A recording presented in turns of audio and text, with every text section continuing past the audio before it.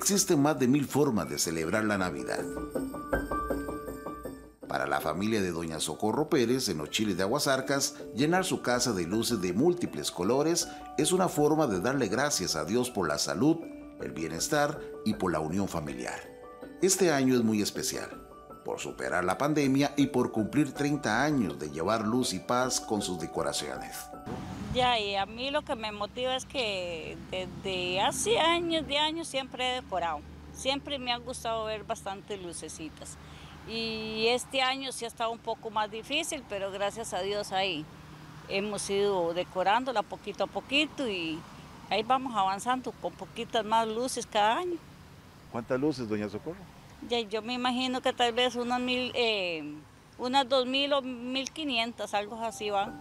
Pérez asegura que se lleva una semana en decorar toda la casa. Sus tres hijos son sus colaboradores personales y ahora con la ayuda de los nietos. Mis hijos me ayudan ellos cooperan con, con ponerme las que son todas las del techo, porque esas sí están un poco altas, ellos me ayudan mucho. Dentro de la vivienda da gusto disfrutar de la delicadeza de la decoración del árbol y también del portal. Eh, hay que tener el entusiasmo, hay que tener el espíritu navideño y, y, ser feliz con lo que Dios nos da ahorita, que lo podemos disfrutar.